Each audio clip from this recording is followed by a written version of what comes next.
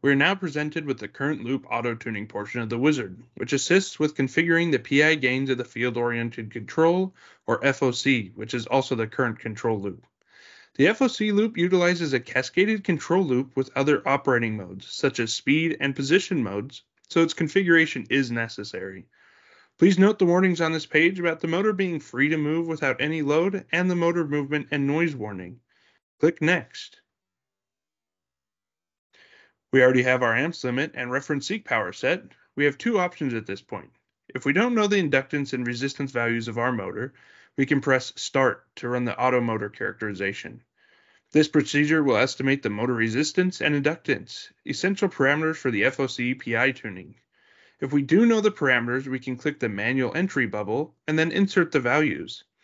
Please note that when inserting the values manually, you should refer to the phase and not phase-to-phase measurements of the inductance and resistance. If the phase-to-phase measurement are provided, divide them by 2.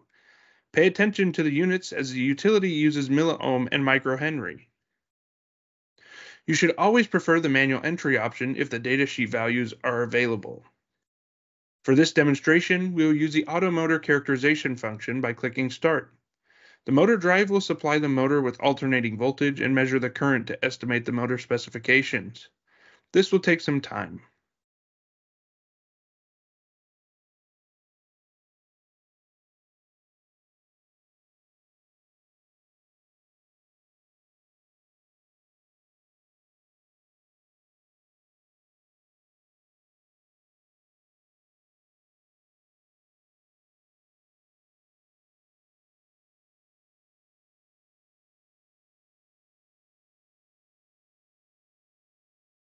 Once complete, click Next. Here you will be requested to select an FOC bandwidth. The FOC bandwidth determines the responsiveness of the current loop. We will start by selecting the slowest possible bandwidth of 50 Hz. This will not be the final setting, but we will use it to explore the impact of different bandwidth settings on the current response. At this point, we are locking our rotor using the motor's built-in electromechanical brakes to allow for an easier time applying the motor current. While this will provide an easier time with the graphing, it is not required and you will still get optimal results without locking the rotor. Click Next. On the next screen, we can configure an input waveform and monitor the current response of the motor. Some waveform settings are adjustable, such as the amplitude, period, and the number of repeats. Change the default period to 50 milliseconds to prevent the rotor from moving when applying the command. Avoiding movement of the rotor will allow the motor current to reach the target value easier. Also, in the graph settings, we can adjust the monitoring variables. For this tuning, we will go ahead and remove the motor power and encoder speed to facilitate easier monitoring of the motor current. Now click the Run Waveform button.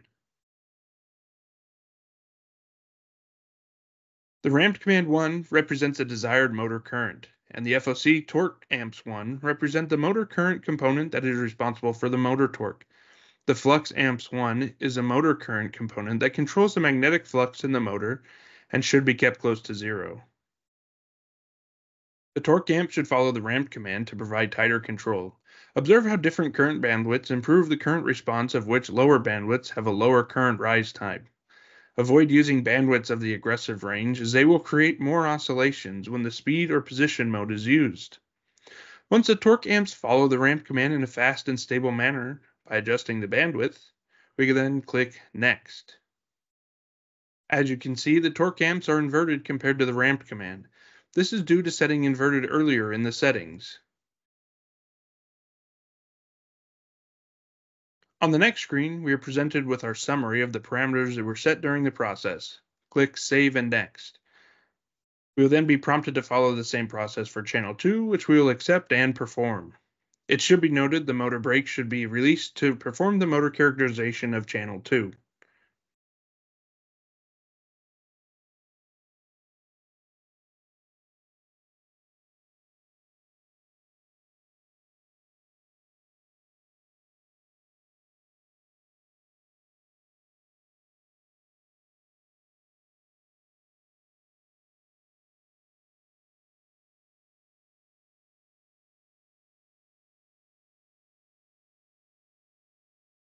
At this point, the motor brake is engaged to perform the FOC tuning.